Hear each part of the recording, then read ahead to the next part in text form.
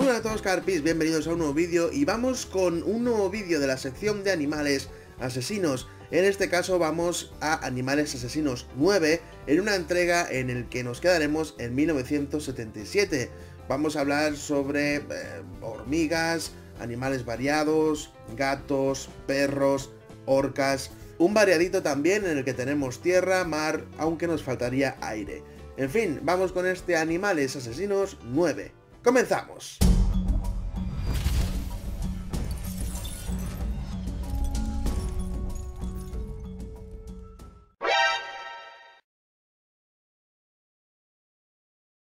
Esta entrega de animales se situará íntegramente solo en el año 1977, así que vamos a ver qué películas se estrenaron este año.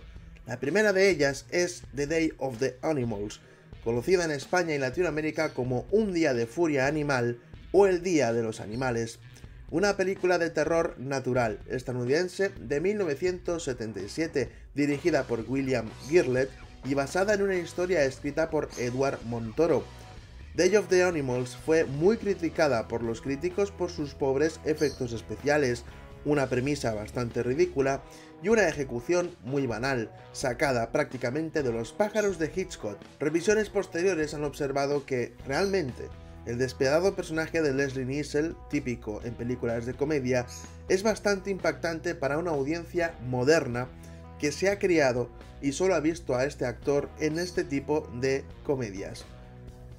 Un grupo de excursionistas se aventuran hacia la montaña y son atacados por los animales salvajes. Aparentemente, una reducción drástica del ozono ha provocado una mutación en algunos animales.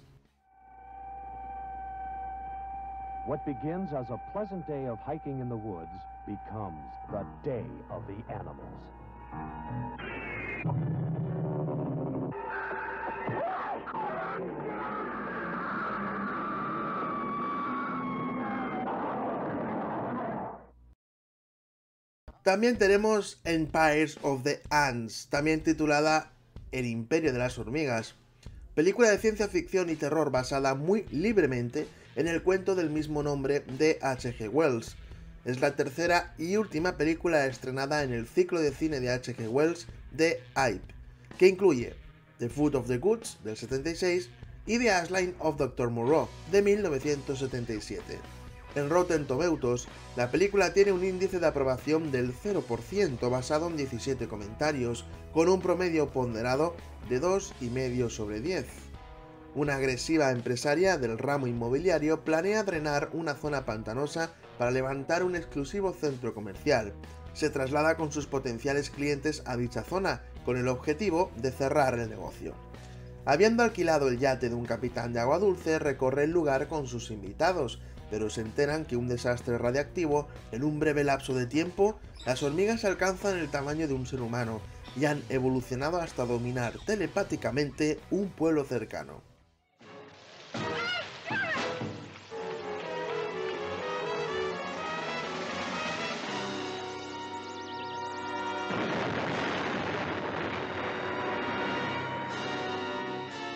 H.G. Wells, Empire of the Ants.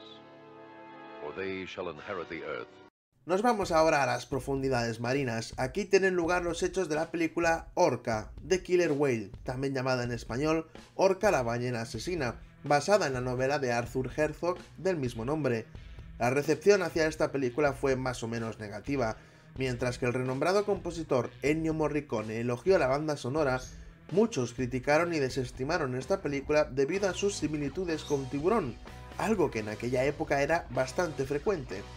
Richard Harris, protagonista de esta entrega, disfrutó de sus experiencias durante el rodaje y se ofendió por cualquier comparación entre la orca y tiburón. Actualmente la película tiene un índice de aprobación del 14% en Rotten Tomatoes, según 14 comentarios. Durante años, el capitán Nolan ha vivido obsesionado con la idea de cazar un peligroso ejemplar de orca, la reina de los mares. En una de sus expediciones se encuentra con un grupo de esas gigantescas criaturas y decide cazarlas con la ayuda de su tripulación. Consigue capturar a una hembra embarazada que lucha desesperadamente por liberarse, pero, al acercarse demasiado a la hélice del barco, queda mortalmente herida y pierde el vallenato que esperaba.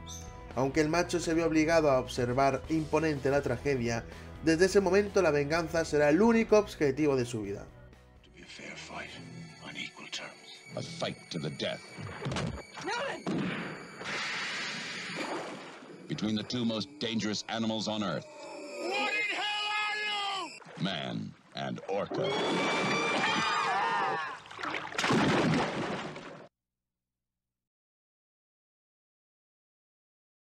Volvemos a la Tierra con Fangs of Cobra, es decir, Los Colmillos de la Cobra, titulada originalmente Ren Sheshu. Película de Hong Kong, es un thriller, estrenada en julio del 77.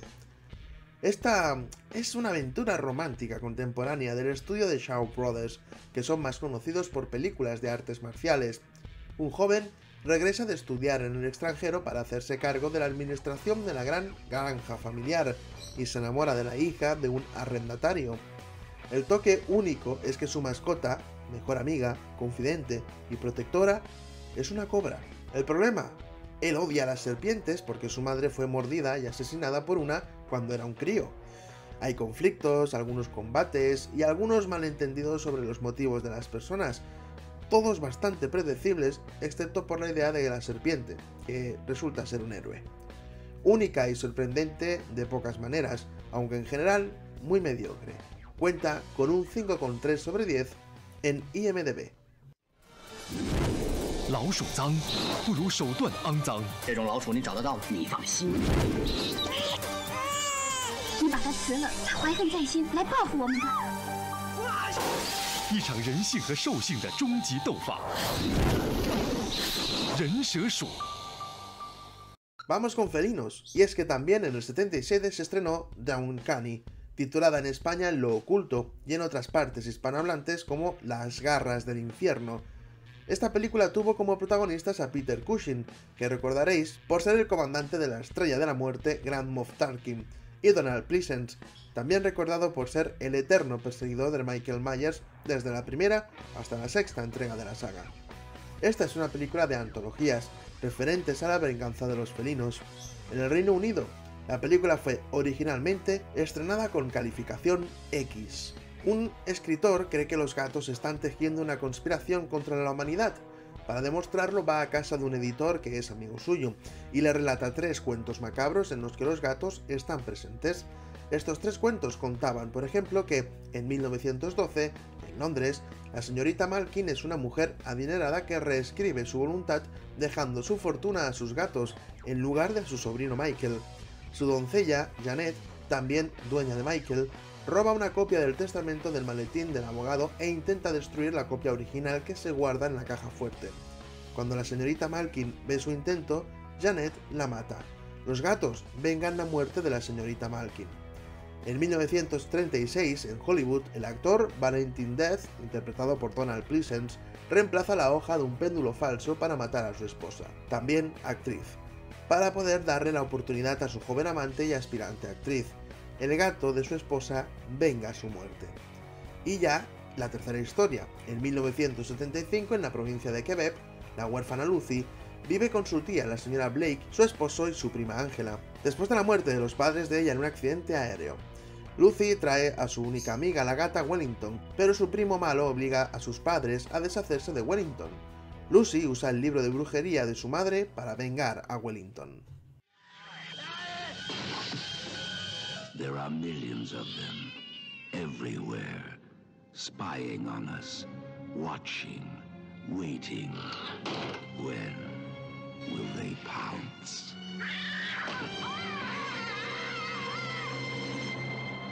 Y terminamos con los supuestos mejores amigos del hombre en la película The Pack, una película de terror donde los perros abandonados se vuelven contra los humanos, matándolos por comida. La recepción crítica de The Pack ha sido media. TV White recibió la película con 2 de 4 estrellas, calificándola como un corte por encima de las habituales películas explotadoras de venganza de la naturaleza, pero criticando su clímax sobre el cataclismo en la película. Variety le dio a la película una crítica positiva al escribir The Pack es una historia bien hecha y discretamente violenta de un grupo de perros salvajes que amenazan a los residentes de una isla remota. El crítico de cine, Leonard Maltin, otorga a la película dos estrellas de un máximo de cuatro, calificándola de predecible, pero que también estaba bien hecha. Los perros y el hombre han estado juntos desde tiempos prehistóricos. En un viaje por el bosque, los dueños de los perros abandonaban a sus perros y los dejaban en libertad. Después de aproximadamente tres horas de intentar encontrar algún medio de supervivencia, un perro encuentra un cabertizo lleno de otros perros que también fueron abandonados por los humanos. Sin ninguna otra opción para sobrevivir, los perros recurren al canibalismo y forman una manada, un grupo de perros abandonados en busca de venganza. Un anciano y un niño fueron las primeras víctimas de estas bestias, y ahora, una familia que se quede en el resort debe defenderse contra la manada y sobrevivir de cualquier manera posible. Now they are predators. The right move may mean survival, while each moment brings them closer to death. The pack. They're not pets anymore. Ya hasta aquí llegamos hoy. Este ha sido Animales Asesinos 9, esta novena entrega que ha sido también variada, con, como he dicho al principio, orcas, hormigas, incluso perros y gatos, los mejores amigos del hombre, supuestamente.